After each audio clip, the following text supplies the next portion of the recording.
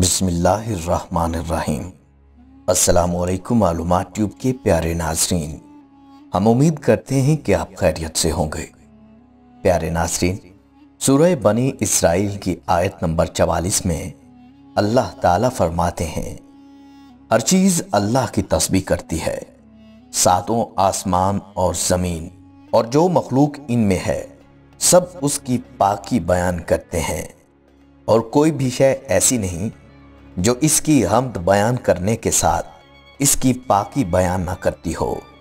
لیکن تم لوگ ان چیزوں کی تسبیح کو سمجھتے نہیں۔ بے شک وہ بردبار اور بخشنے والا ہے۔ اس آیت میں اللہ تعالیٰ کی عظمت کا بیان ہے۔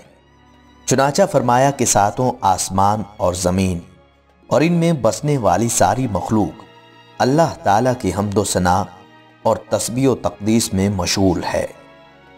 حضرت عبداللہ بن عباس رضی اللہ تعالیٰ عنہ نے فرمایا، ہر زندہ چیز اللہ کی تسبیح کرتی ہے اور ہر چیز کی زندگی اس کے حسب حیثیت ہے۔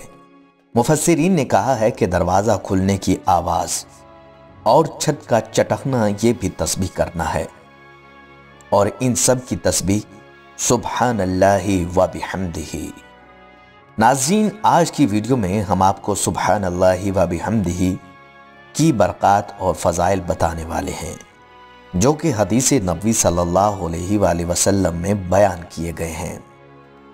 ان کلمات کی فضائل و برکات کے بارے میں جاننے کے لیے آپ سے درخواست ہے کہ ہماری آج کی ویڈیو کو آخر تک ضرور دیکھیے گا۔ اور اگر آپ نے ہمارے چینل کو سبسکرائب نہیں کیا ہوا، تو ابھی اس کو سبسکرائب کریں۔ اور ساتھ لگے بیل کے بٹن کو کلک کرنا نہ بھولیں، تاکہ آپ کو ہماری آئندہ اپلوڈ ہونے والی ویڈیوز کا نوٹیفیکیشن ملتا رہے۔ ناظرین، یہ بات مسلم ہے کہ پوری کائنات اور اس کی ہر شے اپنے پورے وجود سے اس حقیقت پر گواہی دے رہی ہے کہ جس نے اس دنیا کو پیدا کیا اور جو اس کی نگہ بانی کر رہا ہے، اس کی ذات ہر عیب، نقص اور کمزوری سے پاک ہے اور وہ اس سے بالکل پاک ہے کہ اس کی خدائی میں کوئی اس کا شریک ہو۔ کائنات کا ہر ذرہ اللہ کی تسبیح بیان کرتا ہے۔ ہر طلوع غروب ہونے والے سورج کے ساتھ، کائنات کی ہر شے، حمد کے ساتھ اللہ تعالیٰ کی تسبیح بیان کرتی ہے۔ تسبیح بیان کرنے کا مطلب یہ ہے کہ ہر شے نہ صرف اپنے خالق اور رب کا عیوب و نقاص سے پاک ہونا ظاہر کر رہی ہے، بلکہ اس کے ساتھ وہ اس کا تمام کمالات سے متصف اور تمام تعریفوں کا مستحق ہونا بھی بیان کر رہی ہے۔ ایک ایک چیز اپنے پورے وجود سے یہ بتا رہی ہے کہ اس کا منتظم وہ ہے جس پر سارے کمالات ختم ہو گئے اور حمد اگر ہے تو بس اسی کے لیے ہے۔ ناظرین، آئیے اب آپ کو سبحان اللہ و بحمدہی کی برکات و فضائل بتاتے ہیں۔ حضرت ابو حریرہ رضی اللہ تعالیٰ عنہ نے بیان کیا کہ آپ صلی اللہ علیہ وآلہ وسلم نے فرمایا کہ دو کلمے ایسے ہیں جو اللہ کو بہت محبوب ہیں اور زبان پر نہایت ہلکے ہیں، مگر میزان یعنی کہ تول میں بہت بھاری ہیں۔ وہ کلمات یہ ہیں، سبحان اللہ و بحمدہ، سبحان اللہ العظیم۔ سیدنا ابو حریرہ رضی اللہ تعالیٰ عنہ کہتے ہیں کہ رسول اللہ صلی اللہ علیہ وآلہ وسلم نے فرمایا کہ جو شخص سبحان اللہ و بحمدہ ایک دن میں سو بار کہے تو اس کے گناہ معاف کر دیے جاتے ہیں۔ اگرچہ سمندر کی جھا کے برابر ہی کیوں نہ ہو۔ ناظرین، روایات میں ایک واقعہ بیان کیا گیا ہے کہ ایک حبشی شخص نبی کریم صلی اللہ علیہ وآلہ وسلم کی خدمت میں حاضر ہوا اور عرض کرنے لگا، یا رسول اللہ صلی اللہ علیہ وآلہ وسلم، آپ ہم سے حسن صورت اور حسین رنگ میں بھی ممتاز ہیں اور نبوت و رسالت میں بھی اب اگر میں بھی اس چیز پر ایمان لے آؤں جس پر آپ ایمان رکھتے ہیں اور وہی عمل کروں جو آپ صلی اللہ علیہ وآلہ وسلم کرتے ہیں، تو کیا میں بھی جنت میں آپ صلی اللہ علیہ وآلہ وسلم کے ساتھ ہو سکتا ہوں؟ نبی کریم صلی اللہ علیہ وآلہ وسلم نے فرمایا ہاں ضرور، قسم ہے اس ذات کی جس کے قبضے میں میری جان ہے، جنت میں کالے رنگ کے حبشی۔ سفید اور حسین ہو جائیں گے اور ایک ہزار سال کی مسافت سے چمکیں گے اور جو شخص لا الہ الا اللہ کا قائل ہو، اس کی فلاح و نجات اللہ تعالیٰ کے ذمے ہو جاتی ہے۔ اور جو شخص سبحان اللہ و بحمدہ پڑھتا ہے، اس کے نامہ اعمال میں ایک لاکھ چوبیس ہزار نیکیاں لکھی جاتی ہیں۔ یہ سن کر مجلس میں سے ایک شخص نے عرض کیا، یا رسول اللہ صلی اللہ علیہ وآلہ وسلم جب اللہ رب العزت کے دربار میں حسنات کی اتنی سخاوت ہے، تو ہم پھر کیسے ہلاک ہو سکتے ہیں؟ یا عذاب میں کیسے گرفتار ہو سکتے ہیں؟ آپ صلی اللہ علیہ وآلہ وسلم نے فرمایا، حقیقت یہ ہے کہ قیامت میں بعض آدمی اتنا عمل اور حسنات لے کر آئیں گے کہ اگر ان کو پہاڑ پر رکھ دیا جائے، تو پہاڑ بھی ان کے بوجھ کا تحمل نہ کر سکے گا۔ لیکن ان کے ظلم کے مقابلہ میں ختم ہو جائیں گے۔ مگر یہ کہ اللہ تعالیٰ ہی اس کو اپنی رحمت سے نوازیں۔ حبشی نے حیرت سے سوال کیا، یا رسول اللہ صلی اللہ علیہ وآلہ وسلم، میری آنکھیں بھی ان نعمتوں کو دیکھیں گی جن کا آپ صلی اللہ علیہ وآلہ وسلم کی مبارک آنکھیں مشاہدہ کریں گی؟ آپ صلی اللہ علیہ وآلہ وسلم نے فرمایا ہاں ضرور۔ یہ سن کر اس نو مسلم حبشی نے رونا شروع کیا۔ یہاں تک کہ روتے روتے وہیں جان دے دی۔ اور نبی صلی اللہ علیہ وآلہ وسلم نے اپنے دست مبارک سے اس کی تجہیز و تقفین فرمائی۔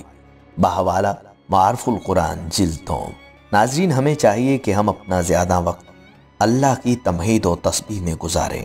ناظرین، علماء کرام کا کہنا ہے کہ تسبیح کی دو قسمیں ہیں۔ ایک تسبیح اختیاری اور دوسری تسبیح استراری تسبیح اختیاری تو فرشتے اور مومن جنوں اس کے لیے مخصوص ہے۔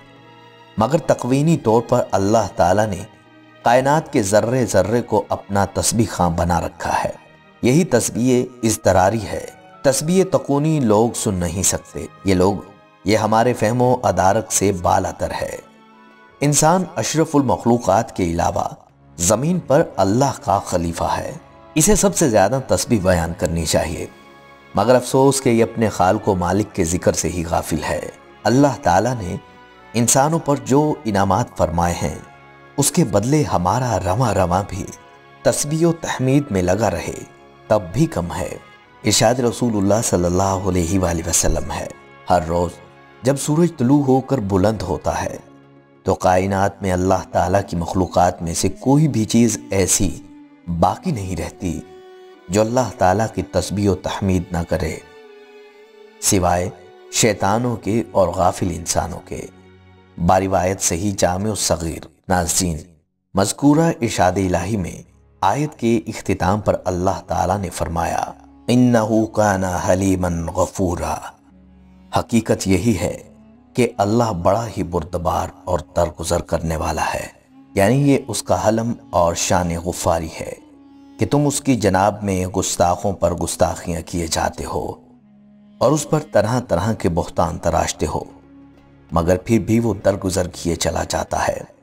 نہ رزق بند کرتا ہے، نہ اپنی نعمتوں سے محروم کرتا ہے اور نہ ہر گستاخ پر فوراً بجلی گرا دیتا ہے۔ پھر یہ بھی اس کی بردباری اور اس کے درگزر کا ہی ایک کرشمہ ہے کہ وہ افراد کو بھی اور قوموں کو بھی سمجھنے اور سنبھلنے کے لیے کافی مہلت دیتا ہے۔ ہمیں چاہیے کہ ہماری زبان پر ہر وقت اللہ کی تسبیح ہو۔ سیدنا سعد ابی وقاص رضی اللہ تعالیٰ عنہ سے روایت ہے۔ کہ ہم نبی صلی اللہ علیہ وآلہ وسلم کی خدمت میں حاضر ہوئے۔ نبی صلی اللہ علیہ وآلہ وسلم نے فرمایا کہ تم اس سے عاجز ہو کہ ایک روزانہ ایک ہزار نیکی کرو، چنانچہ ایک شخص نے دریافت کیا کہ ہم ایک ہزار نیکیاں کیسے کر سکتے ہیں۔ نبی صلی اللہ علیہ وآلہ وسلم نے فرمایا، سو مرتبہ سبحان اللہ کہنے سے ہزار نیکیاں لکھ دی جاتی ہیں۔ یا ہزار گناہ مٹا دیے جاتے ہیں۔ باروایت مسلم، ناظرین، آپ نے ان کلمات کے فضائل و برکات جانے۔ آپ سے گزارش ہے کہ خود بھی ان کلمات کی پابندی کریں اور اس ویڈیو کو زیادہ سے زیادہ شیئر کریں، کیونکہ اچھی بات کا پھیلانا بھی صدقہ ہے۔ اور آپ کے شیئر کی وجہ سے جتنے بھی لوگ ان کلمات کا ذکر کریں گے، آپ ان کے ذکر میں برابر کے شریک ہوں گے۔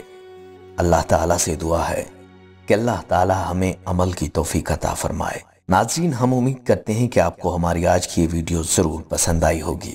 اگر آپ کو ہماری آج کی یہ ویڈیو پسند آئی ہے تو آپ سے گزارش ہے، ہمارے چینل معلومات ٹیوب کو ضرور سبسکرائب کر لیں اور ساتھ ہی لگے بیل کے بٹن کو بھی پریس کر لیں تاکہ آپ کے پاس ہماری آنے والی مزید معلوماتی ویڈیوز کا نوٹیفیکیشن بر وقت ملتا رہے۔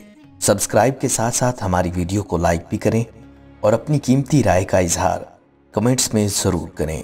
محترم سامعین، ہم یہ واقعات اور معلومات آپ تک پہنچانے میں بہت احتیاط سے کام لیتے ہیں۔ اس کے تصدیق شدہ ہونے پر پوری توجہ دی جاتی ہے۔